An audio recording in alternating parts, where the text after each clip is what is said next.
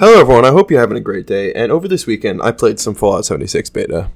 And I know a lot of people are putting their own opinion into the game, so I figured I'd put mine in as well.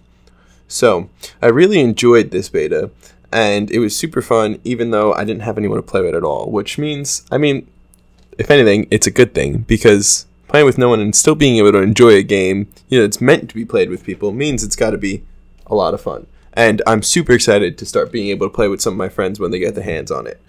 But I want to go into some of the things that I really enjoyed about it.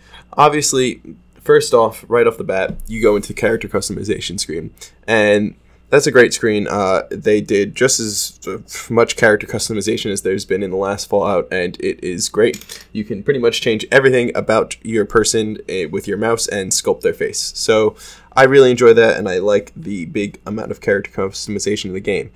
Um, and then the quest line, actually, I went through it for probably about like six hours, I'd say. I tried to go through the quest, and I was really enjoying it, even though there was a couple things that I didn't like that I'll get back to. But I did really enjoy the quest, and it did still feel very Fallout, the quest line, um, which was one of my concerns about the game, and I'm glad that I enjoyed it. So, um, some of the other things that I really liked was the event system in the game. Um, it was um, really a ton of fun to do them. Uh, a lot of people would get around and you'd go and fight different things or do waves or have to put something back together because the reactor went down was one of them too. There's a whole bunch of them. Some of them were more complicated than others, obviously.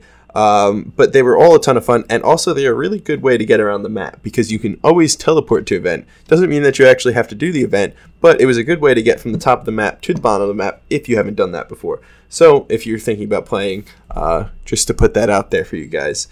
Um, and then other great things about the game was the perk and leveling system. Um, to be honest, I didn't really find it too terribly hard to level up. Uh, again, I only played for about like eight hours, and I managed to get all the way up to level 10, which I think is pretty good. It was a pretty, you know, not exponentially quick, but it means you can put some hours in there before, you know, you're really getting up there.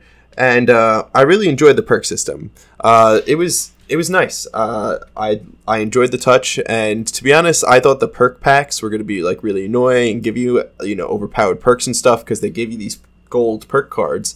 But I found out that you just end up getting the gold perk cards down the road as soon as you level. So it's just a way to get the perk cards earlier, and then most likely you're just gonna have to wait to get to that level anyway, and to, to use the card because that's what I had to do as well. Um, so they're pretty good, and the perk packs they I got a couple of them throughout playing, and they gave me a couple perks, and I used some of them, but again, it wasn't really like the most important thing. It didn't seem like it was gonna like break eh, you know the game or give anyone a huge advantage. Maybe it would give people a little bit in the beginning because everyone would be able to put a perk in one of their slots, but it's again nothing too huge. And I did really enjoy the system and how you can level up the perk cards. Um, so it kind of lets you build out your character a little bit, which is a lot of fun.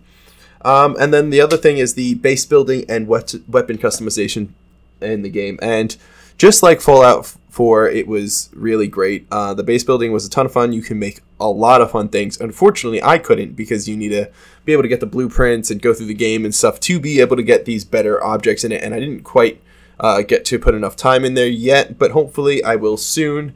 And they seemed really cool, but what I got to build was just like a small little house and really wasn't anything too great, but I got my little like workbench in there, cook station, and like a chair.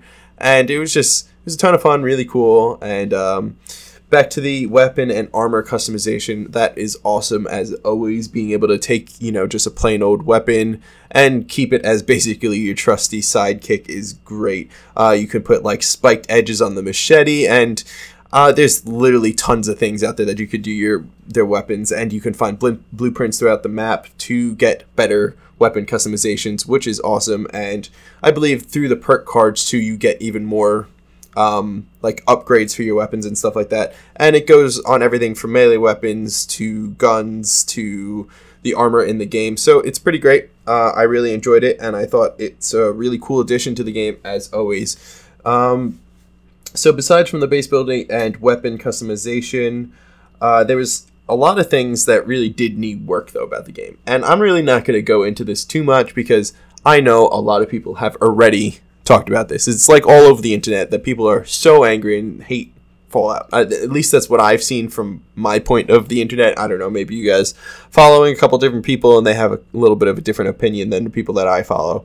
But you know, it does needs to work. It's a beta, but some things that you know doesn't seem like it'll get quite fixed by time the beta. Um, I mean, a big big thing was the NPC thing. So I I thought it was a very interesting idea in the first place that they were going with no NPCs, and to be honest, I really wasn't a fan. I it makes the game feel a lot more lonely. There's no one there. At you know, you have the other players in the game, but it doesn't feel like when you played a Fallout and you went to a town, there was a ton of people. It was like booming with people, and it was great. And there was a lot of people to go interact with, talk to, and all these things to do. But now you go to town and you go and find like a computer terminal to go talk to. You go find a holotape, you listen to it. You find a dead person on the floor, and you just go listen to this long ass holotape, and it's kind of annoying. Um, and I know that's pretty much what everyone has said on the internet, but that's like the only thing that I will really back up and say that I agree with. Um, I think it's just that it needs it needs its NPCs. Like it would be great. I mean, they already have the the robots in the game that talk and they do it. You know, they're not really that prominent, but they're there. Those are NPCs.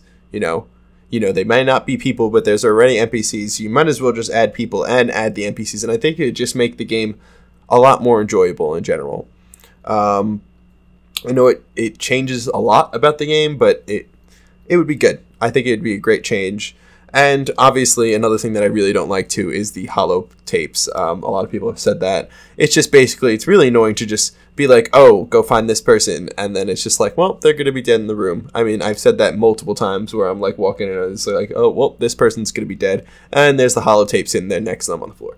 So that's my really two cents of things that really need work. Um, a lot of people said things about the water texture. Uh, it was awful, yes. Uh, the water texture was white in certain places, but it is a beta. So again, I'm just you know, that will be things that will for sure be changed by the end of the game. It's because we're probably playing a much later release than what's even they have now. So, you know, those little minor things, obviously, I'm expecting to be changed. I mean, you're not going to release a game with just white water on the ground. That's why, you know, people report that, and hopefully those things will get nice and patched up, but they probably already are on their version of the game.